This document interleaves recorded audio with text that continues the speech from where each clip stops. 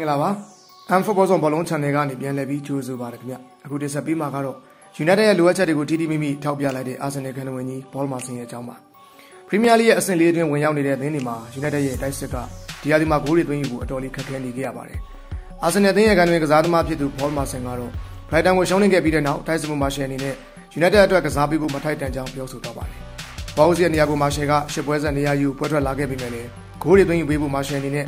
Wolves နီးတူရုန်းကန်နေခဲ့ရတယ်လို့အဆင့်3နေရာက Newcastle ရဲ့နောက်ရမန်နံပါတ်အကွာနဲ့တူအဆင့်4မှာရပ်တည်နေခဲ့ရပါတယ်။ Paul Merson က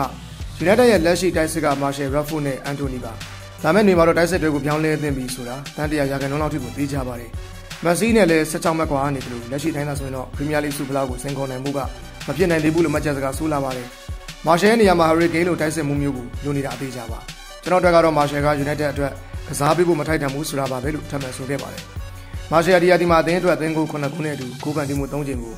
ပြန်ပွဲစုံ24ပွဲပြင်ပြုလုပ်ပေးထားနိုင်ခဲ့ပေမဲ့ပွဲစဉ်များပြားကိုထံရကြောင်းအနာယူနေခဲ့ရသူဖြစ်ပါတယ်။ Premier League မှာတော့ United တိုက်စစ်အနေနဲ့ဒီယာဒီအသင်းကို49ခုကိုသာသွင်းထားနိုင်ခဲ့ပြီးလက်ရှိချိန်မှာအဆင့်ခွန်အတွင်းဝင်နေတဲ့အသင်းတွေနဲ့နိုင်ရှင်ဒီသွင်းကိုရည်တော့ကအနည်းပါဆုံးဖြစ်နေကြရပါတယ်။ဟုတ်ကဲ့ပါအကြောင်းအရာလေးကတော့ပဲမလို့နားဆင်ပြီးတဲ့အတွက်ကျေးဇူးများတင်ပါတယ်။ကျွန်တော်တို့ရဲ့ channel လေးကိုလည်း like and subscribe လုပ်ထားပေးပါဦး။ဘေးနားက notification လေးကိုလည်းနှိပ်ပေးထားပါဦး။